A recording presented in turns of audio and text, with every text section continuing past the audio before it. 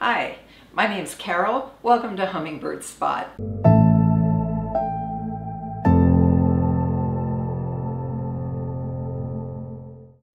This is the fourth episode in my quest to photograph every hummingbird species and the second episode in Honduras. If you haven't seen previous episodes, click here. Our first stop today was Gracias Lempira. Now, gracias, the, it obviously is the Spanish word for thank you, and legend has it the reason it's named that is because the Spanish explorers crossed the very mountainous terrain, which is now Celaque National Park, and they were so thankful that they got onto flat land, they said, thank you, God, for our being on flat land again. So that's how it's got its name. It's a little colonial town, adorable. It's the home of the president of Honduras, and it's also the home of William Orellana and the headquarters for Beaks and Peaks Birding and Adventure Tours. Now, William's home, he has a garden, and it's called the Celaque Hummingbird Garden. And one of the regular visitors he has is the sparkling tailed woodstar. So since this was a reliable place to get that gorgeous bird, that's where we went. When William said, there it is, I was so shocked because I had seen it and I didn't even realize it was a hummingbird. It looked like some kind of an insect. You know, it flies from flower to flower and when it's feeding, it sort of has its tail cocked up it's kind of unusual, but oh, what a gorgeous little bird. But once you've seen the bird, they're really easy to spot because the male has those big white bands on its tail. Now the female is rather nondescript. She doesn't look anything like the male. She's small and has like a buff colored breast. We spent the day photographing the sparkling tail and uh, we ate dinner in Gracias at a wonderful restaurant called the Casa Hotel Celaque. Beautiful place, great food. But I'll tell you, I don't normally shoot photographs in bathrooms, but the toilet paper roll in this restaurant was so adorable I had to take a picture of it. I keep thinking someday I'm going to make one like this for my own bathroom.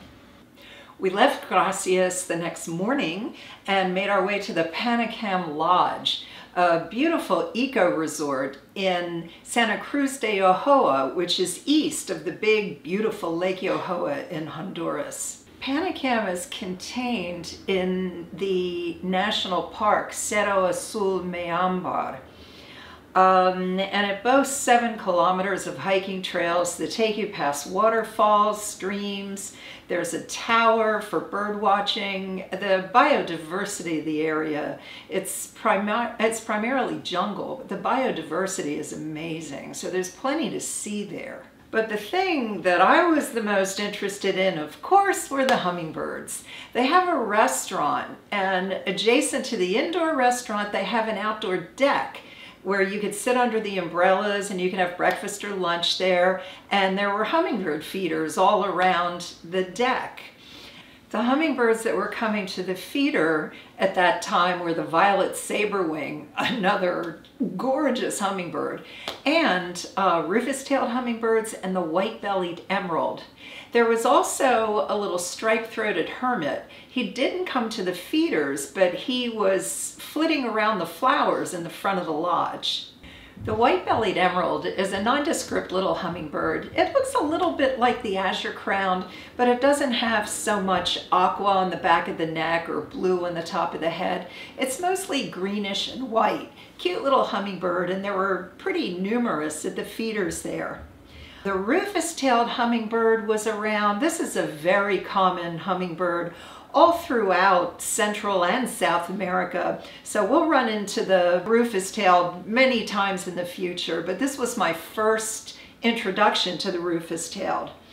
But then the violet sabrewing. This is another hummingbird that I was just stunned with how incredible this bird is. I'm just not used to seeing birds with these kind of rich colors in the United States.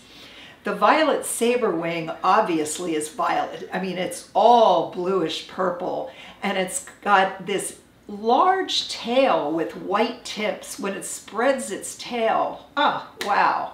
You can see by the pictures that it's, it's a stunning bird. Well, that's it for this episode. Next Sunday, I'm going to show you the one true endemic they have in Honduras, the Honduran emerald. We met up with Alex Matute, who helped us find one.